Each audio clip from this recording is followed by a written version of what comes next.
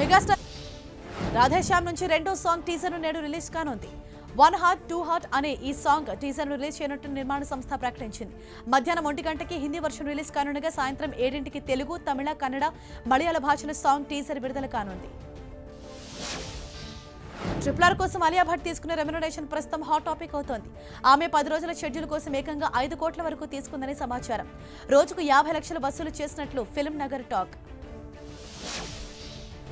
లైగర్ shooting యమ ఫాస్ట్గా సాగుతోంది. లాస్ వెగాస్లో లో షూటింగ్ పూర్తి చేసుకునే లైగర్ టీం అక్కడి నుంచి నేరుగా లాస్ ఏంజల్స్కు వెళ్ళింది.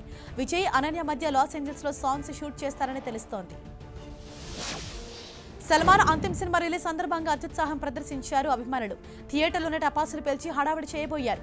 ఈ వీడియోను పోస్ట్ చేసిన సల్మాన్ ఇలాంటివి అస్సలు సహించొద్దంటూ వార్నింగ్ ఇచ్చారు. ఇది ప్రాణాలకే ప్రమాదం అంటూ హెచ్చరించారు.